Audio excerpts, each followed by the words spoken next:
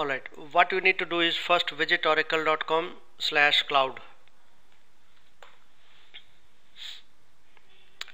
to launch instance in OCI visit oracle.com slash cloud. Sign in to Oracle Cloud with your user and ID and password. Your account name you need to enter. In my case it is Skillpedia. Then next there are two options to sign in here. One is single sign-on that is SSO using Oracle Identity Cloud Service. And second is direct sign-in that is Oracle Cloud Infrastructure direct sign-in. In my case I'm using single sign-on. Both methods have different options available. Uh, almost all options are common except few of them that I will show you uh, using this method. So I'm using single sign-on method. Continue use your user ID and password. So as I said I also work with 80% zoom level. 80% zoom level gives me perfect visibility of all the options. So to launch an instance directly you do not need the networking VCN right now.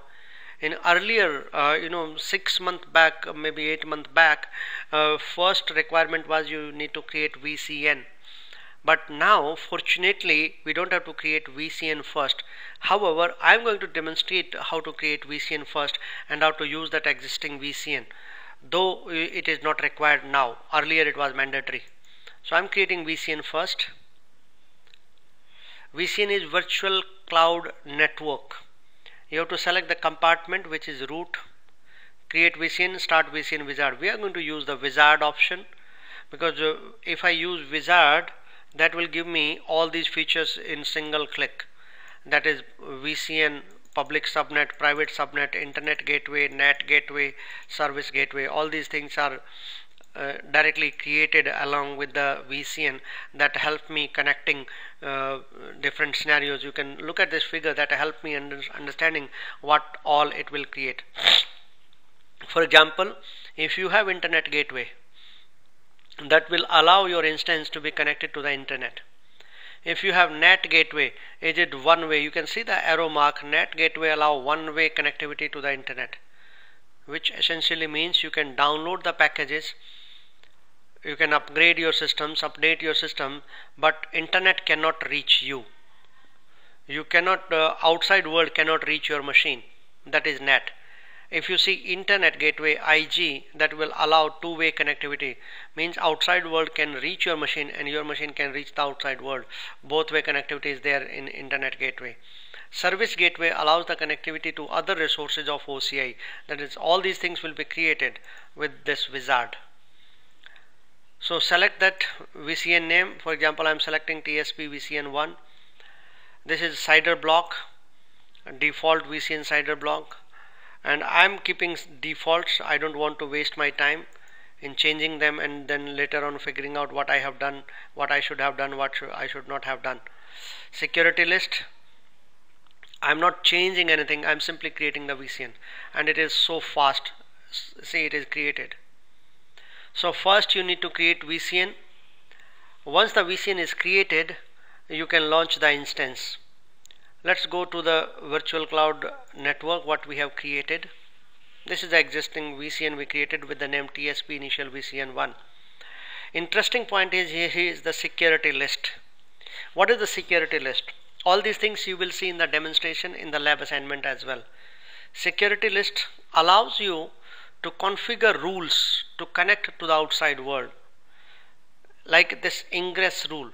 I am adding ingress rule to connect from the outside world which is 0.0.0.0 slash 0 that is the outside world 4 times 0 4 times 0 slash 0 and ICMP that means I want to allow ping from the outside uh, world to this uh, uh, machine which is in this subnet.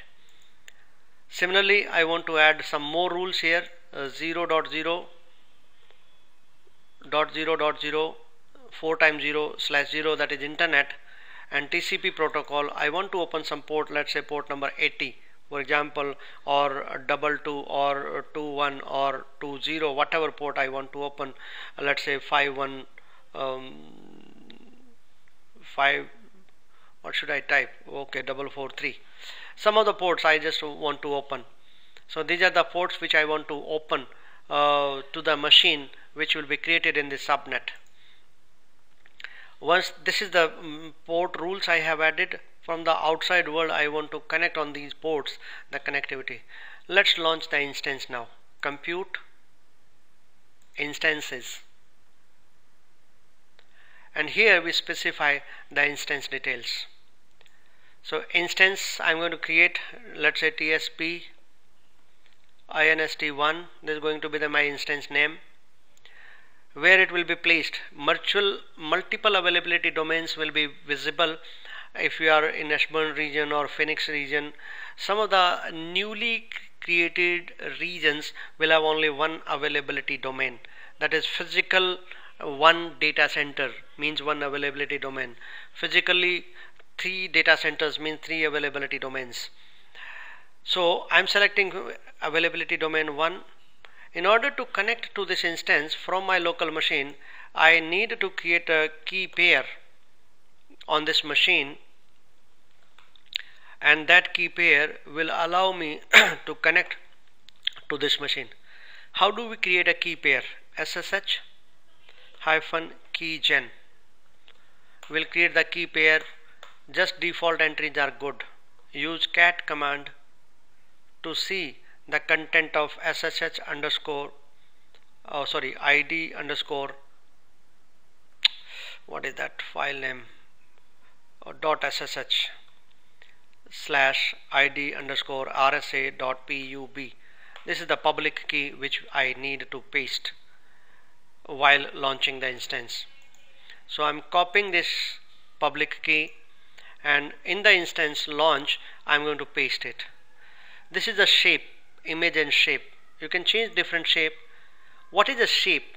Shape gives you different features of uh, Oracle infrastructure.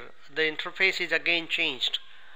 So uh, Oracle Linux platform images Oracle images partner images custom images community images all these options are available. So I'm selecting platform images.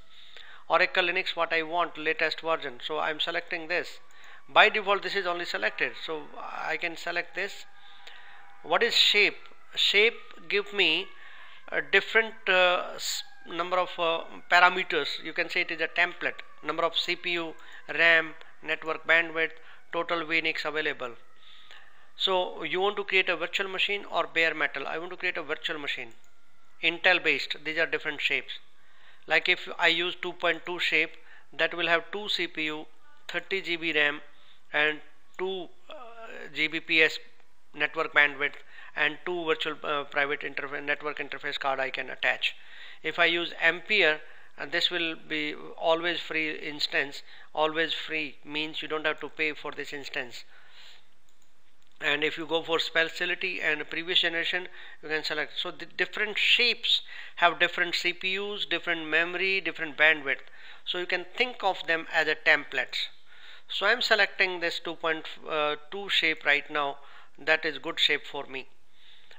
And networking. See this is the new feature available. This is not there in the uh, uh, lab assignment if you uh, look at that. Because uh, earlier this feature was not available. You had to select the existing one. Because now it is option that you can create a new uh, VCN right now right here but I'm selecting existing because I created it before I launched this instance. Then select existing subnet public subnet assign public IP of course I want public IP add SSH key. I have the public key with me. I'm going to paste that public key here. That public key will allow me to connect from my local machine to this instance. And uh, I think that's uh, all what we require. Quite simple straightforward so instance will be launched with this name in the public subnet of the VCN which I created earlier. It will take few minutes to provision the instance to launch the instance. Once my instance is launched I will be able to access it from my local machine. Public IP address will be visible here. You see public IP I can simply copy this and I can uh, start waiting. I can uh, you know try ping command on this IP because I enabled ICMP for this instance. The moment my instance is ready I should get reply uh, from this public IP of my instance. That's how easy it is. And now my instance is ready. Yeah cool. Now therefore I can simply connect to this instance. By default the username is OPC so you have to type SSH OPC at the rate public IP address and you will be taken to that instance directly. So you are working on that instance now. To switch to root user you have to the command sudo su hyphen. You are working as a root user on that machine now. Yum install httpd I am just installing Apache web server so that you can access the web server from this instance and this is so easy so damn easy to launch instance in Oracle Cloud Infrastructure. The lab assignment which I shared with you uh, go into depth of uh, uh, this launch instance and create instance and installing packages on this machine. And uh, by the end of uh, by the time you complete the lab assignment you will be ready with the one instance. You will be ready to connect to that instance.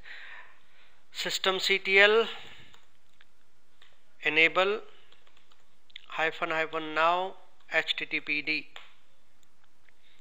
cd slash var slash www slash html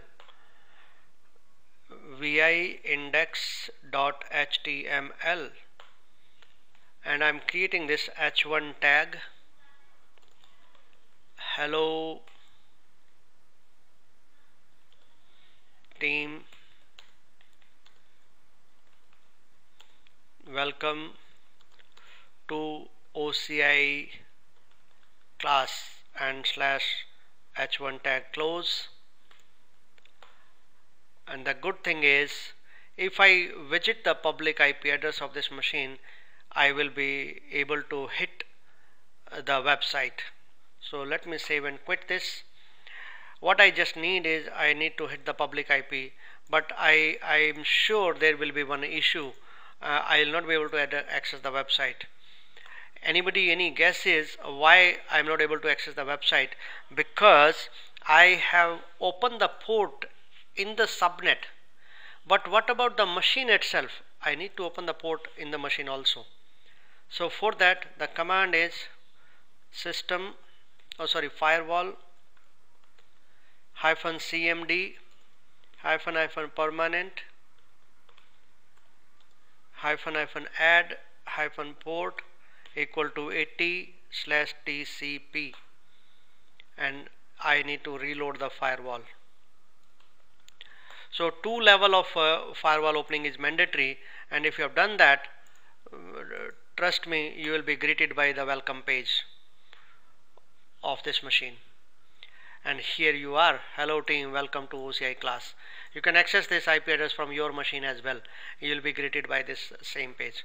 So what we have successfully done is we have launched an instance in the OCI and we have connected to the OCI from local machine.